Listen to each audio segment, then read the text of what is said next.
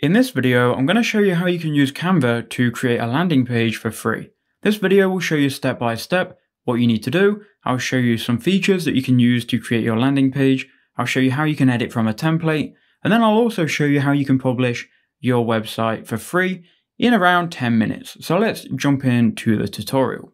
So what you want to do is you'll first want to go to canva.com. Once you're here, you then want to click on this text box and you just want to type in here landing page.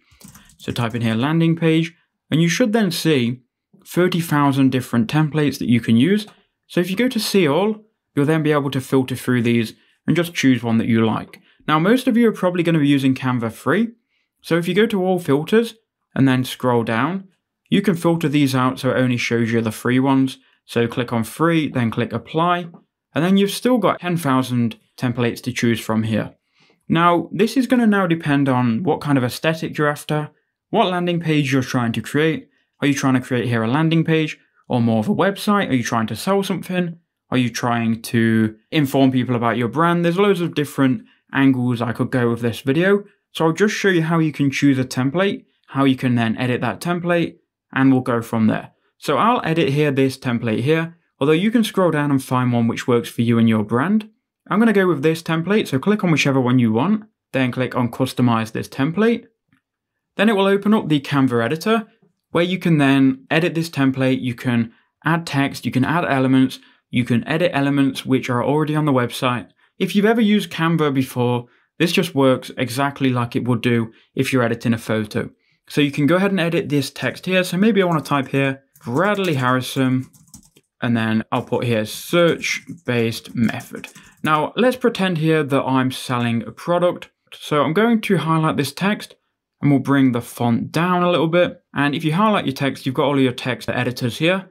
So we can increase and decrease font. We can change the color, make some text bold, italic, underline. You've got the center in here with the alignment. So maybe I want to highlight just Bradley Harrison, which is my name, and I'll just make that bold and I'll just bring this down a little bit. And you can also resize this and you can change the positioning. Now I'm going to highlight search based method and I'm going to bring this sizing all the way down so we can keep that on one line. So that looks good to me. And then I'll change this search based method font and we'll go ahead and change this to this one here. And again, you can customize this however you want.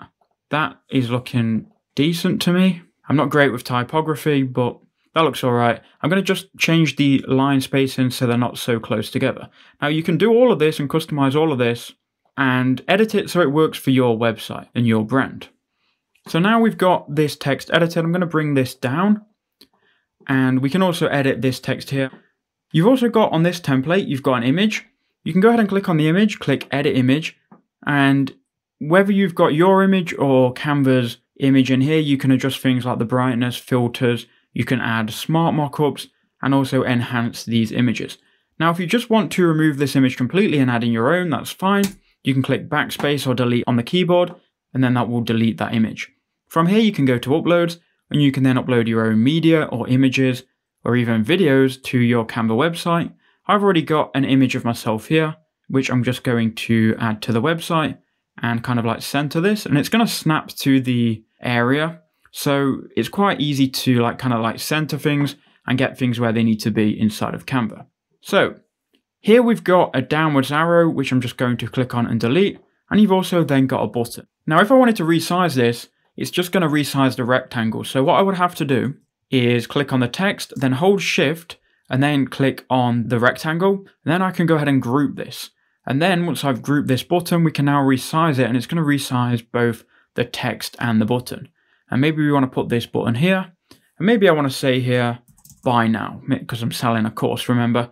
Now you might be promoting like a product, you might be sending people to a video, to social media, so you can go ahead and link to anything here. So if I wanted to link, once I've resized this, I can click ungroup, then I can click on the three dots and then link. And I could probably link to like a PayPal checkout page if I had my own product. I don't have a PayPal checkout page set up, so I'm just going to redirect here to Google. Obviously, you can redirect to wherever you want. I'm just going to redirect to Google. You can also redirect to new pages, which you can go ahead and set up in a minute, and I'll show you how. So now we've added that link. Now this button will redirect to Google because I've just entered in that link. Now, I accidentally added a page earlier. If I wanted to delete that page, I could just go ahead and delete it by going to this delete button here. Now, if I wanted to add a new page, we can go to add page here, which will then add a page. Alternatively, what I recommend you do, if you want to keep this same branding, if you go here to duplicate page, it's going to duplicate the same page.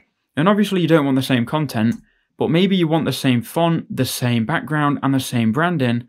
So you can kind of like edit this page and delete what you don't want, and but keep the same branding that you do want. So maybe obviously you don't want this text anymore, but you might want to say here, here's why you should buy my product.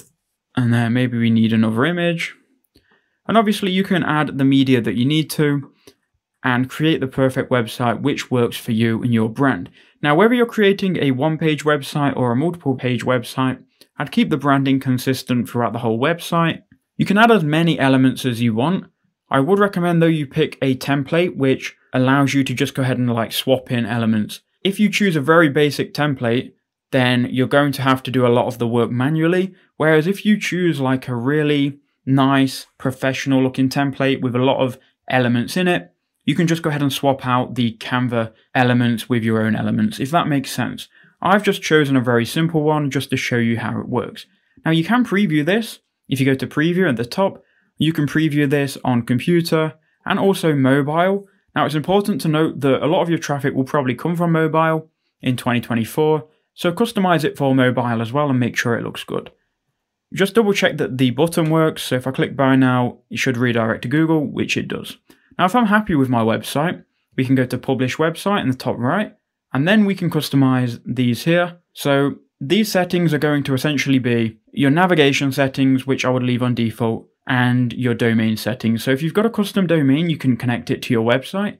I've created multiple videos on connecting a custom domain. I'm going to, however, go with a free domain for this video, so we'll then continue through this. Now, if you click here on this edit button, you're then editing what's going to be shown in the tab. So maybe I want to type here Bradley Harrison search based method. We can then also edit the page URL. So it says here this page URL is not available.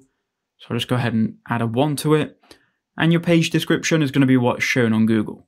If you go to advanced settings, you can enable whether you want this to show in the Google search engines and password protect it if you want. I'm not sure why you would want to do that. And then link preview, this is what it's going to look like when people share it on social media. Link preview is going to be this preview mode here. You can see you've got your name of your website, which is going to show in the preview. Once you're happy with all of that, click publish.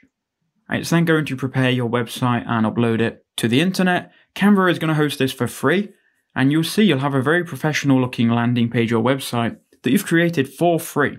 So the default domain is going to be my.canva.site. Click visit website and here you can see your website with the text. You've got your images, you've got the buttons which redirect to the right place. If people scroll down, you've got your other pages. You can customize this however you want. You can go as simple or as advanced as you want. And the only watermark on the free plan is going to be this here where it says designed with Canva. So that was a quick tutorial on how you can create a landing page with Canva. Hope that video did help you out. Let me know in the comment section below if it did.